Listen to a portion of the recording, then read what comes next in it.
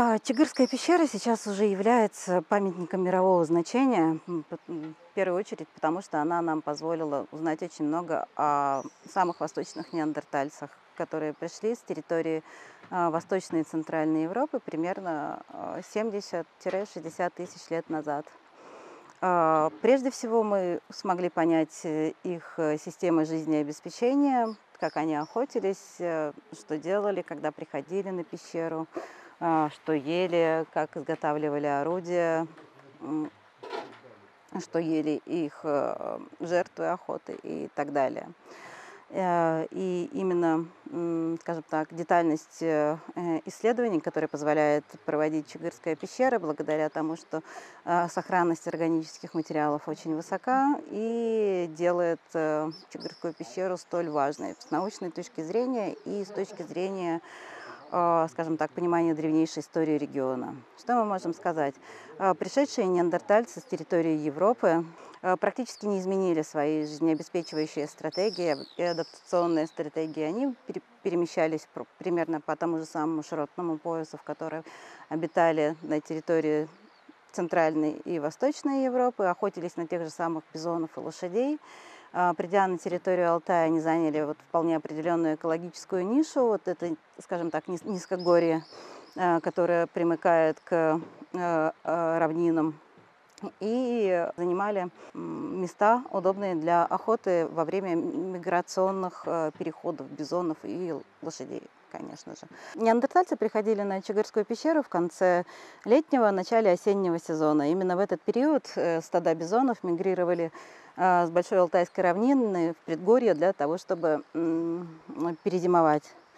Э, и стада бизонов в этот момент составляли как раз э, самки, э, неполовозрелые особи и самцы. Но при этом у самцов в этот период, в конце года, мясо было не очень вкусным, и самцы были достаточно агрессивны. Поэтому самки с молодыми особями, со вкусным мясом, были идеальным объектом охоты для неандертальцев. А, что мы, собственно говоря, и обнаружили в пещере. То есть у нас э, обнаруживаются кости исключительно самок и молодых особей. Мы провели некоторые анализы для определения пола по зубам, по зубной эмали. И все, что мы обнаруживали для взрослых особей бизона, были самки. А, что можно еще сказать? Пещера, которую э, мы исследуем, она являлась идеальным убежищем для неандертальцев. Мы нашли э, четыре молочных зуба неандертальца, которые принадлежали детям, которые выпали естественным путем.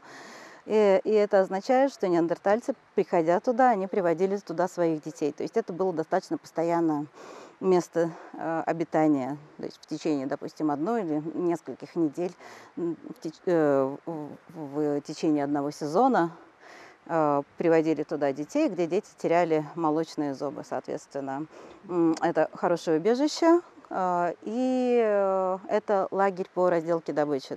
Туда приносили достаточно большие куски бизонов, не полные, но достаточно большие, что говорит о том, что лагеря по забою бизонов были где-то близко, скорее всего, в русле реки Черыш получается. То есть они приносили большие куски бизонов туда, там их разделывали, а, параллельно а, изготовляли орудия, а орудия они изготовляли следующим образом. То есть длинные кости из туш бизонов брались для того, чтобы изготовить э, ретушоры. Ретушоры – это костяные орудия для заточки каменных орудий. А, прямо на пещере изготовлялись э, каменные орудия, а, которыми можно было пользоваться примерно полчаса либо час для разделки туш. Потом они э, притупливались. А, и костяные ретушеры как раз из длинных костей бизонов чаще всего использовались для того, чтобы подновлять лезвие орудий. То есть лезвие орудия это у нас большое количество скребел, большое количество строконечников и бифсиальные симметричные ножи типа клеузяйниша. У нас есть некоторые данные э, по поводу того, что неандертальцы уже могли использовать медицину. То есть у нас есть предположительно зуб, который э, сверлился, у нас есть костер, в который, по нашим предварительным исследованиям, э, использовался в качестве дымокура. Э, и это идет, э, скажем так, не идет в разрез с теми данными, которые мы получаем э, по исследованию неандертальцев из Европы. Неандертальцы наши, они были исключительно мясоедами, при этом в зубном камне, который был исследован, также были обнаружены крахмалы растений, то есть незначительную долю а, все-таки э, в их рационе составляли растения, которые могли быть в том числе и медицинскими. Неандертальцы практиковали, а, скажем так, контактную, а, близко скажем так, э, охоту на близком расстоянии. То есть они не метали копья и дротики, они их скорее э, втыкали непосредственно в бизонов, э, что также, чем также обусловлено, обусловлен выбор добычи. То есть самку либо детеныша гораздо проще убить, чем половозрелого самца матерого дротик втыкался в бизона, он мог также быть закреплен где-то. И таким образом э, в результате достаточно опасной охоты вот добывалось мясо. Мясо было не самой главной добычей, которая получалась. То есть э, неандертальцы точно обрабатывали шкуру, но важнее всего, скорее всего, был костный мозг. Костный мозг, он содержит э, определенные аминокислоты, которые позволяют избежать цинги, костный мозг э, очень жирен, очень калорийный, питателен, и костный мозг можно хранить э, дольше мяса. Соответственно, все кости, которые, практически все кости, которые мы нашли на Чугырской пещере, они очень-очень сильно фрагментированы вот как раз для добычи костного мозга. У нас только 2% костей животных, которые определимы. И это объясняется тем, что неандертальцы добывали костный мозг прямо на пещере, и там же его и потребляли, собственно говоря. Скорее всего, вот определенную часть костей они могли уносить. То же самое касается и каменных орудий. То есть Чигырская пещера расположена в русле реки Чарыш, и э, э примерно 1-2% э, из галечного материала, который составляют э, засуринские ишмоиды. Это самое, скажем так, качественное э, сырье для среднего палеолита Алтая.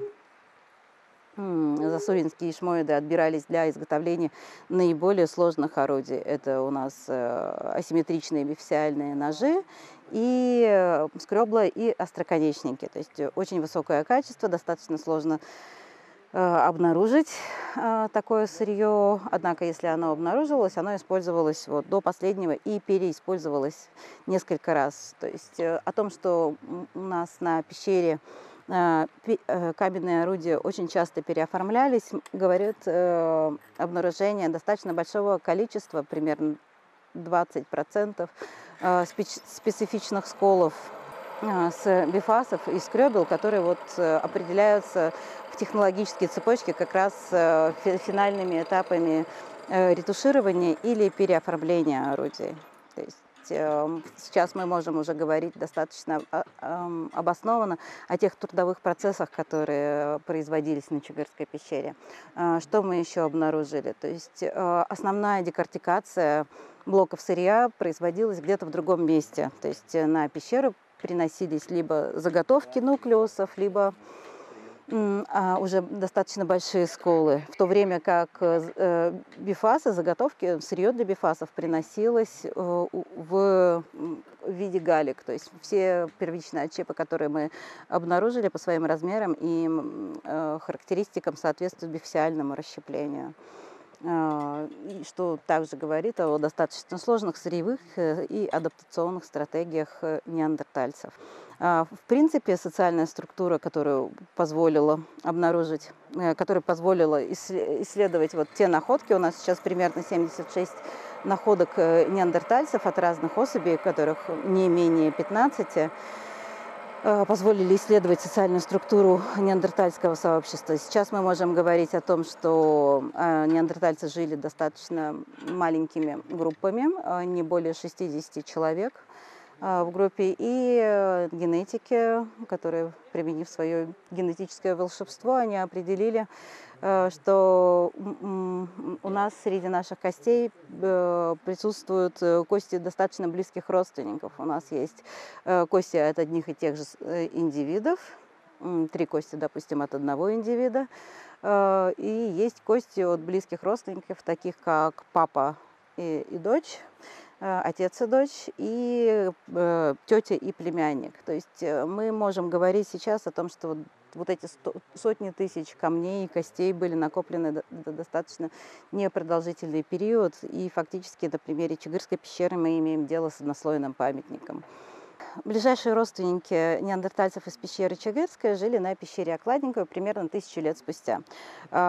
Генетики из Института Макса Планка обнаружили очень близкое родство между этими популяциями, и мы обнаруживаем очень близкое сходство между индустриями э, пещер Чагырской и Окладникова, которые составляют себе чехинский вариант среднего палеолита Алтая, который вот очень-очень сильно отличается от всего, что расположено вокруг.